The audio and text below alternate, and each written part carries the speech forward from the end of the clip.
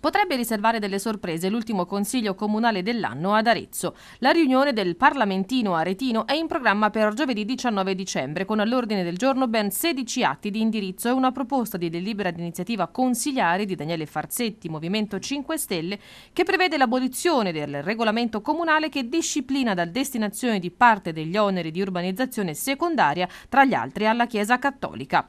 Le pratiche iscritte sono soltanto urbanistiche e protagonista sarà il vice sindaco Stefano Gasperini, tra esse un piano di lottizzazione che insiste sull'area della ex Cadorna.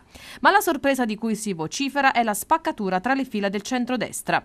Durante l'ultimo consiglio comunale il capogruppo del PDL Francesco Francini aveva dato rassicurazioni in merito alla compattezza dei consiglieri.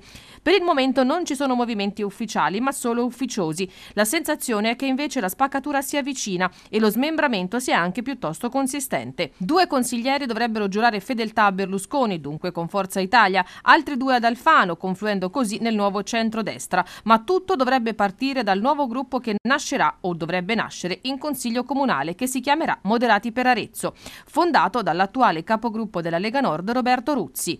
Nella parola moderati si dovrebbero riconoscere in molti, non è escluso che ci sia anche qualche appartenente alle fila nemiche, ovvero centro-sinistra.